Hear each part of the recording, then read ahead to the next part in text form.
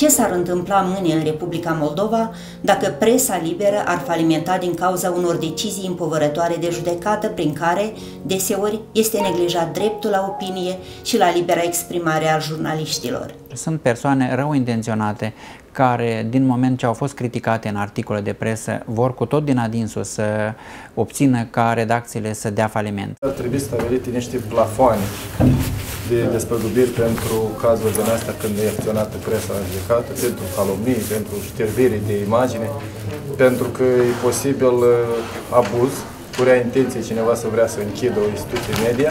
Lumea s-a adaptat la aceste circunstanțe noi formate și începe acum utiliza alte părghii uh, de a influența asupra presei.